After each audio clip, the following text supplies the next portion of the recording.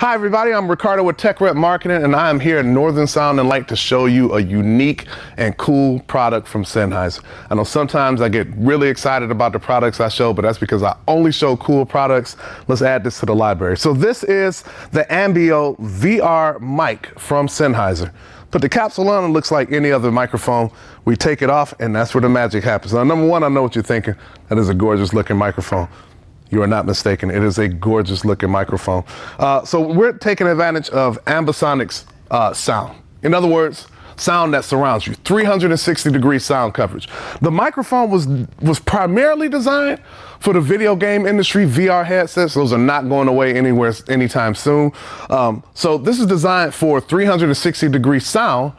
Uh, whether it's just 360 degree audio that you're recording or 360 degree audio plus video that you're recording, this is the microphone that you need. In the past, you had to have four microphone elements, five microphone elements set up at different locations, and then you have to mix it in to make it match your 360 degree uh, video, and it was just a nightmare. Now it's a lot easier. So right here we have the microphone. You see there are four capsules. It's a tetrahedral uh, coverage pattern. That is a that is not an easy word to say, but it's tetrahedral.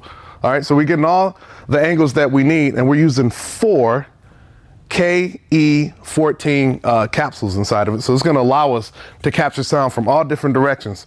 In order to get that 5.1 sound, 4.1 sound out, we have this breakout cable that comes with the microphone um, and you plug it in you take these four channels and you plug it into a four channel interface in order to take that sound and orient it uh, there is an a to b converter free download on Sennheiser's website that you can download. And basically, you just tell your DAW through the plugin, hey, here's how I had the microphone oriented.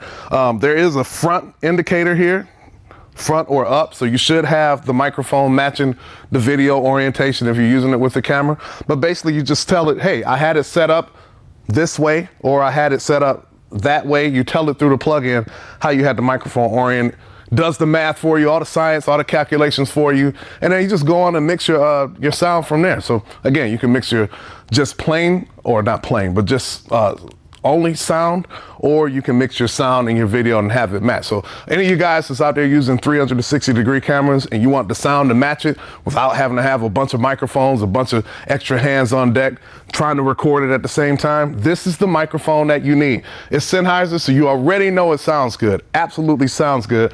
These are the accessories that it comes with. Now, of course, this is just the capsule, so I don't consider that uh, an accessory, but we do have our noise guard there, and then we have our breakout cable, and of course we have our uh, microphone mounting system.